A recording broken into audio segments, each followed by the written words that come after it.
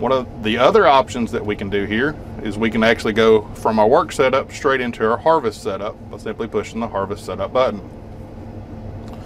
What the harvest setup button does is brings us to a page uh, we're actually setting up the combine. The first at the top will be our header setup button like we talked about earlier. This will give us our raise and lower speed, our lateral tilt, our header height sensitivity, and our tilt sensitivity. So these are, when we're using our header height for automatic header control, these are going to be the two that we use. Uh, on the lower portion here, we're going to see our back shaft speed.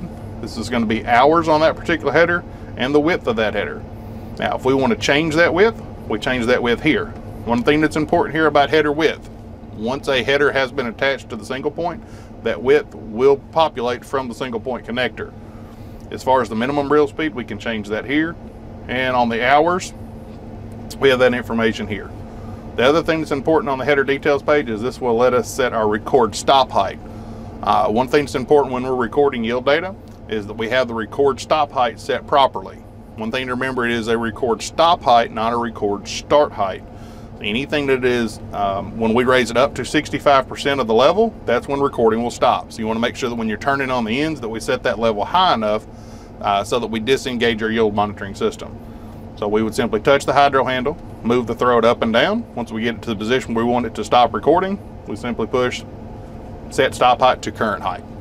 It's a pretty easy way to set it, but it is important to know why it's important to set that.